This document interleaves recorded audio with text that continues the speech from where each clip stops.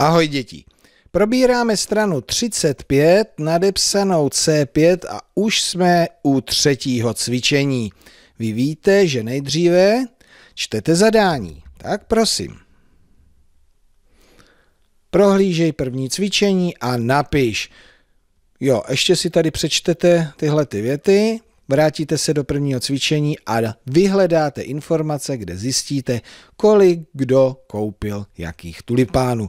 Rozumíte? Já si myslím, že je to jednoduché. Přerušte video, za chvíli se na toto cvičení ještě podíváme.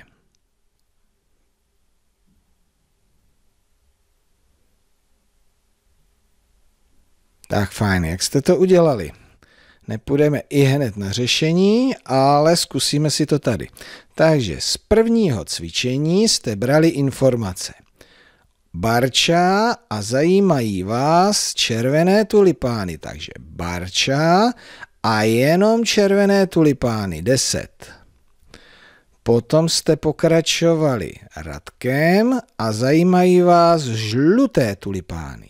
Radek, žluté tulipány. 10. Druhý sloupeček. Román a zase mě zajímají žluté tulipány. Román, žluté tulipány, 9. No a poslední je tady Lenka, u které zajímají nás červené tulipány. Lenka, červené tulipány, 10. Takže, když se na to podívám, 10, 10, 9, 10, pojďme se podívat na to řešení.